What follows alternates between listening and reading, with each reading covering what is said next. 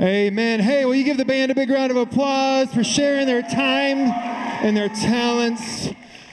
Hey, if you're ever interested in being a part of the band, make sure you find Zay. I know we're looking for some electric guitar players and anything else. So if you guys are interested in sharing your gifts, come check out with Zay, and he would love to have you be a part of that.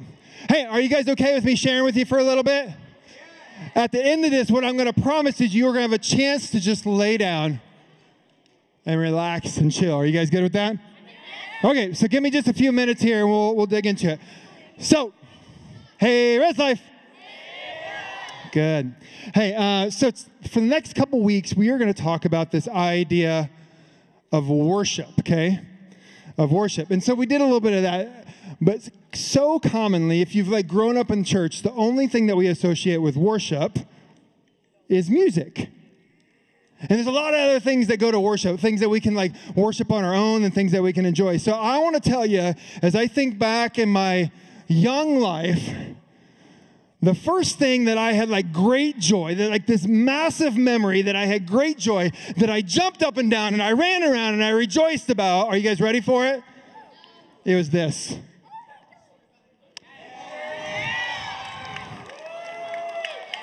Super Mario Brothers. So I think I was like 10 or 12 years old, and the Super Nintendo came out. And, and Drew had a good question. Most of the Super Nintendos came with Super Mario Brothers, but for whatever reason, mine didn't. And this was really rare. Like, um, some of you guys might have grandparents that give you like extravagant gifts.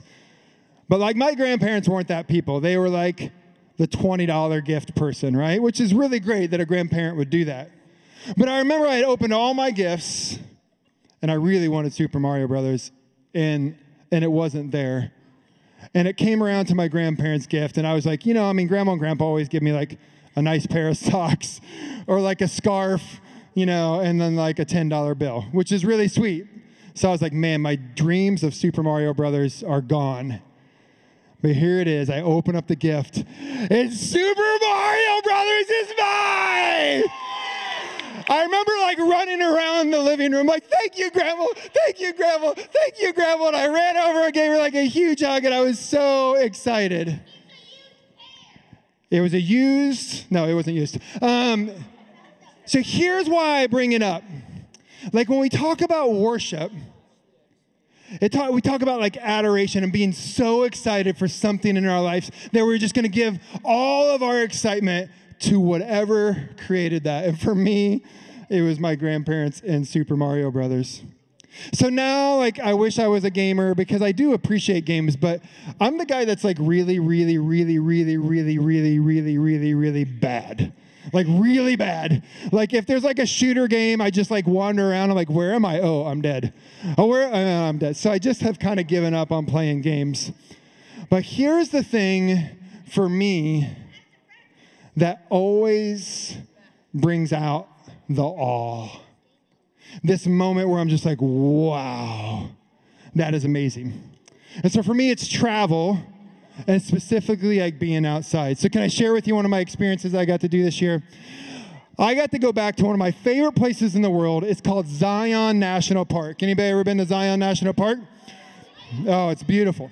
So I was there, and a couple years ago, I got to go and I hiked this thing called Angel's Landing, but I didn't get to do this hike called the Narrows. And the Narrows is this river that you walk in for miles upon miles upon miles. And so here's part of the Narrows. It's this amazing canyon that has been carved by wind and water, and you can walk like 14 miles in the water in this thing. It take, and it's really slippery, and the water is super clear, and there's this, these huge canyons on each side. And all I all I could do was just keep walking, and like, what's around the next corner? And I'd come around the next corner, and I would just go, "Whoa, how? How was this created?" Like, how is this even a thing? How is this, and how am I standing here? So here's the thing there's, there's this definition of worship that, like Pastor Adam gives us in, the, in a book that he wrote. And it says, Worship suggests something or someone is recognized as worthy of honor. So when we talk about God and we talk about the Bible, we can go all the way back to the beginning. And God did what? God created everything. If you were in my Sunday school class this week, we were talking about this, and sometimes we think that like science and like faith and religion can't go together. But I think it's actually beautiful when we can consider the fact that God, who's this amazing creator that can create all things, creates amazing canyons like Zion National Park, creates amazing video games like Super Mario Brothers, that God created us and is worthy of our honor and our praise and our worship and our excitement. So sometimes, uh, I definitely know in the 80s, there was this cool word named rad. We use this word called rad. But the word awesome became used for everything. Like everything, we were like, oh my gosh, this is awesome. Oh my gosh, that's awesome. Oh my goodness, that is awesome. And what I want you to think about is when you use the word awesome, that it is for the most amazing, creative, special, outstanding thing that you've ever seen. And it could be for a guy like Aaron Judge hitting 62 home runs, like that was awesome. And it can be for a canyon in the middle of Utah. And it can be for the most amazing dinner that you've ever tasted.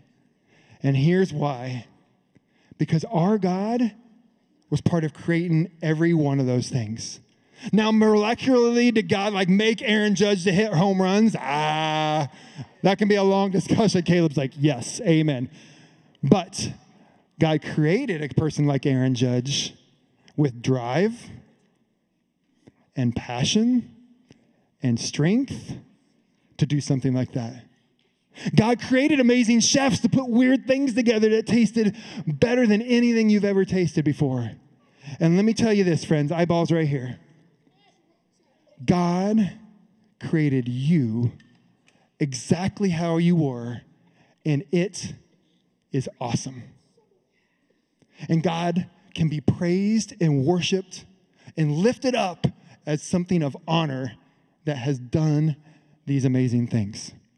So in scripture, there's all kinds of things that talk about this. Um, but one that you guys know that you may maybe seen before is Psalm 23. Anybody read Psalm 23 before? I remember being in like preschool, like at four years old, and like we were taught Psalm 23. So we guys read this together for with me. This is Psalm 23. The Lord is my shepherd; I lack nothing. He makes me lie down in green pasture. He leads me beside quiet waters. He refreshes my soul. He guides me along the right path for his name's sake. Even though I walk through the darkest valley. Now, many of us, when we talked about 2022 as an ice cream or as a movie or something like that, you said something was bad about 2022. It might have been the darkest valley for you. I will fear no evil. Let's say that again. One, two, three. I will fear no evil, for you are with me. Your rod and your staff, they comfort me. You prepare a table before me in the presence of my enemies. You anoint my head with oil, my cup overflows. Surely your goodness and love will follow me all the days of my life, and I will dwell in the house of the Lord forever. Yeah, all these things in the darkness, in the light, in the awesome moments. God is our shepherd, and He walks with us in those things. And God deserves honor and worship and praise. So, we're going to do that in a couple different ways. In your small groups today, you're going to have a chance to produce some art, which can be a reflection, it can be a worship activity. Many of you guys know that I was a music major. Anybody remember what my instrument was, what I majored in? The tuba. The tuba. So, I remember being in college and I got to play a music piece by a composer named Samuel Barber. And during that time, uh, one of my friends said, Hey, have you ever just laid down and closed your eyes and listened to it before? I'm like, uh, No, why? He's like, Dude, it's awesome. There's that word again. It's awesome.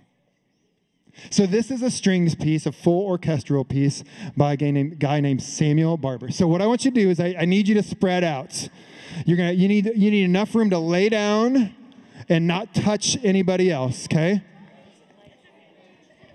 So you can scoot all the way over to the basketball court if you want. You can scoot all the way over to nine square if you want.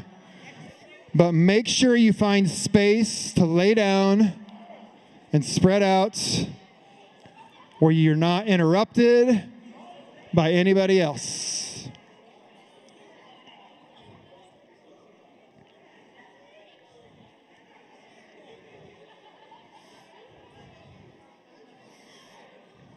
Okay, good.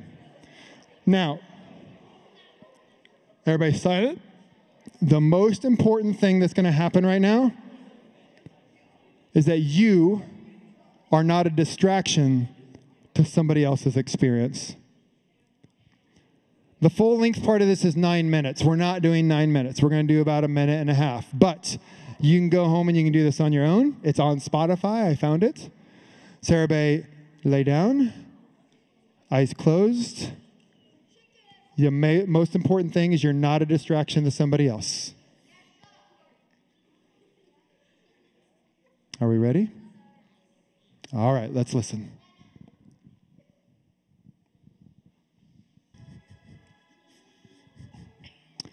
Lord God, we thank you for being an amazing creator. Whether it be the amazing outdoors, or art, or food, or music, or our friends, or our family, Lord, we are so thankful that you create beautiful, amazing, awesome things. Lord, may we learn to change our posture to either lay down, to be on our knees, to raise our hands, to raise our voices, to worship you, to show you the honor for the awesome that you are. And all the people said, Amen.